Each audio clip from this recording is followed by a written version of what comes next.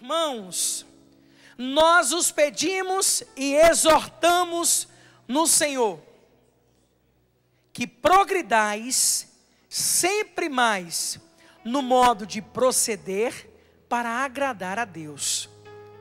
Vós o aprendestes de nós e já o praticais.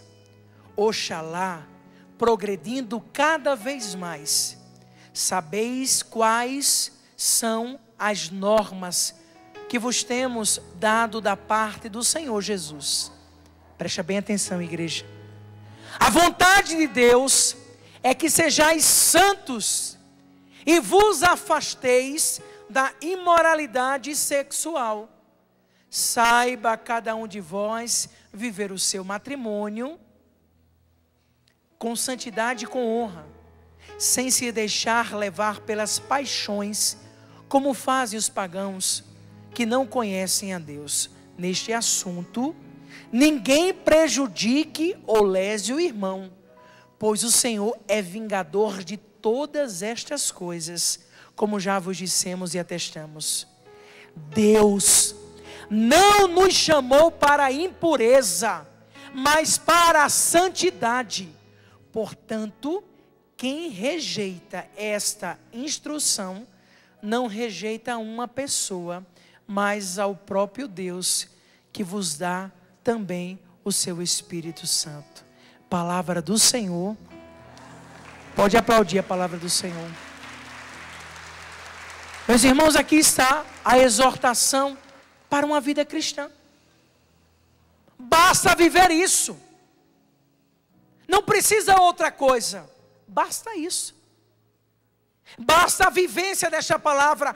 É vontade de Deus. Então, se é vontade de Deus, Ele vai me dar a capacidade para essa vontade acontecer.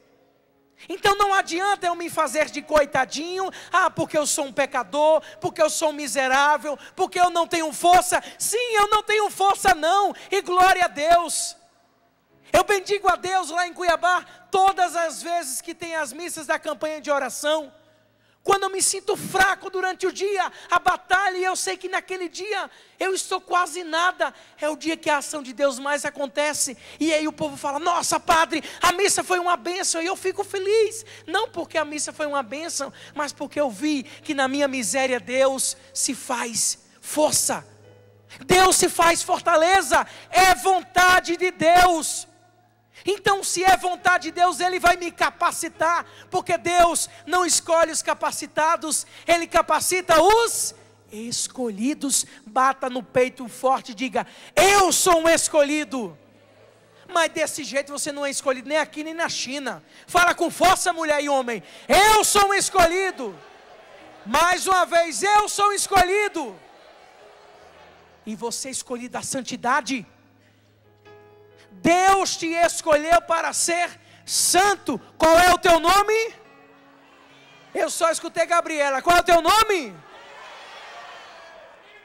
Já imaginou o seu nome? Santo. Santo Jonathan. Santo Rafael. São Bruno Costa. Já estou imaginando. A Bíbliazinha na mão, uma cruz. A paz de Jesus. Eu preciso.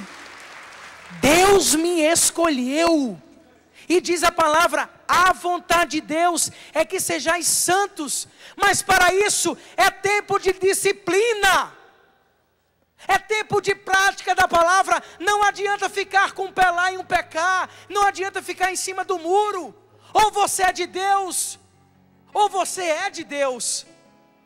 Chega desses pecadinhos, gente, eu já falo isso em TV aberta, para que quando você chegar a confessar com o padre Bruno, você não invente falar isso. Ah, padre, é aquele pecado de estimação, dá vontade de rodar a mão.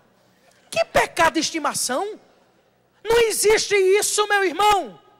Pecado é pecado e tem que ser tirado da nossa vida. Vício é vício e nós precisamos de libertação. Eu não posso ser santo com as coisas deste mundo, impregnado com as coisas desse mundo. Rapaz, mas nós estamos no mundo, sim. Vamos viver intensamente. Vamos colocar em prática o que temos, vamos viver os meios que o Senhor nos concede. Gente, que bênção é a tecnologia. Eu sempre agradeço a Deus pela sabedoria do homem dentro de um avião, Que maravilha eu poder entrar no avião, estar em Brasília, vir para cá, voltar para Cuiabá. Imagina se não tivesse, se fosse o burrinho lá da Paraíba. Imagina se fosse, meu Deus do céu, como é que a gente estava? Eu lá de João Pessoa, como é que eu vinha para cá? Nunca, não tinha conhecido a canção nova. Deus dá graça, ótimo, mas não é isso que nos faz presos. A única coisa que precisa nos prender verdadeiramente é o desejo de santidade.